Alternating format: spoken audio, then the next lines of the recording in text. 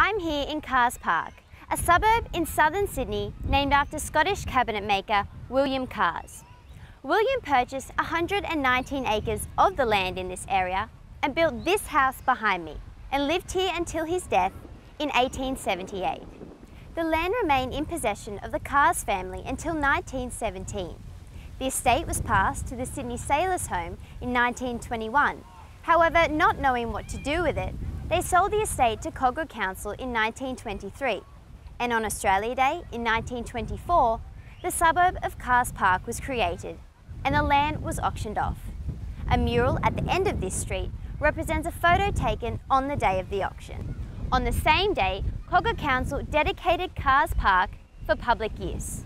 Today, Williams House is now known as Carss Cottage and serves as the home to the Kogarah Historical Society Museum and now is open every Sunday for public use. Let's go take a look.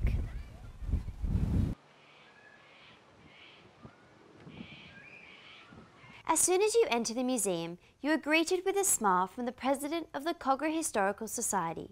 Behind her, a cabinet of brochures, books and pictures sets the scene for what is to come. As you walk down the hall, each room and each wall tells a story of the history of Kogarah filled with pictures and memories that highlight the past of this unique area. And as you enter the back room, there is a whole wall dedicated to Carss Bush Park and the history of the estate. Standing on the veranda at the front of Carss Cottage, this is what you see. The stunning 180 degree view of Kogarah Bay through the trees. It's amazing that this house is still here. And what's even more amazing is so is William Carss. The tomb in which he is buried is down at the park and is heritage listed. It is also one of the only solitary tombs in the Sydney Basin, and the land in which it stands is never to be sold.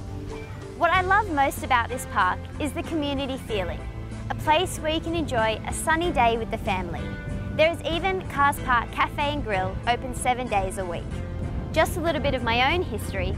My dad used to bring my siblings and I here over the summer holidays and we would try and see who could swim around the pole and back in the ocean, but I was always too scared to go out that far. But probably my most vivid memory would have to be on Christmas Day 2005 when I was swimming and cut my foot on an oyster. However, it has never stopped me from coming back. I love this park and everything that it has to offer. And I hope that maybe one day I can even bring my own children here. It truly is a wonderful place to be and I hope that more people are able to enjoy it and make memories here like I have.